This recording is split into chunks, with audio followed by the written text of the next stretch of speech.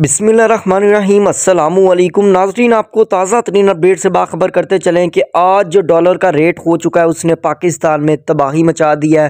Totally तौर पर माशियत तबाह होकर रह चुकी है, क्योंकि कल जो सुबह डॉलर का रेट था, वो दो सौ इकसठ रुपये था और जबकि आज जो डॉलर का रेट हुआ है, उसकी वजह से पाकिस्तान डिफ़ॉल्ट कर चुका है। अभी अनाउंसमेंट वज़ी अजम शहबाज शरीफ की जानब से होने वाली है, लेकिन आपको जो डॉलर का रेट हो चुका है, वो भी बताने वाले हैं। और इससे पहले आपसे हमेशा की तरह गुजारिश करेंगे, चैनल को सब्सक्राइब कर लें, वीडियो को लाइक कर लें और शेयर ज़रूर करें ताकि दूसरे लोगों के नॉलेज में इजाफा हो सके। नाजीन जो डॉलर का रेट था, कल रात से ही रद्दोबदल में था। एकदम से अठारह रुपये कम होता था और एकदम से बीस रुपये ज़्यादा कर दिया जाता था। तो आज जो डॉलर का रेट है, उसकी वजह से पाकिस्तान डिफ़ाल्ट हुआ है और दो सौ अठहत्तर इशारिया तिरानवे रुपये हो चुका है और मज़ीद पाकिस्तान डिफ़ाल्ट होने की अनाउंसमेंट जल्द ही आपके सामने आ जाएगी। और अब मुल्क में महँगाई का बड़ा तूफ़ान आने वाला है।